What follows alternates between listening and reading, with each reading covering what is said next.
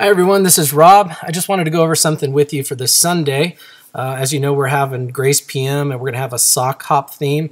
And one of the songs we're going to do for an opener is At the Hop. And what we're going to do is we're going to have that projected in the confidence on the confidence screen, but it's not going to be projected in the front. So in the front, we'll have a video. It won't be this, but I'm just using this as an example. Um, but if we say we go to this, and I'll show you what I did. Here, I'll edit slide.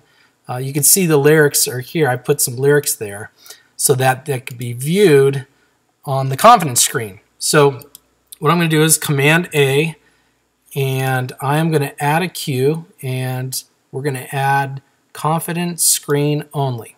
Okay. So now, you know, because we're going to need the lyrics in the confidence screen, you know, you don't want to have to stretch your neck behind you to look at the screen and follow along and and because uh, that's just too difficult. So there's an easy way, and it's real simple. It's just right here. Toggle output stage display preview. There you go. So this is what uh, the vocalists, the musicians will see um, on the confidence screen as you go.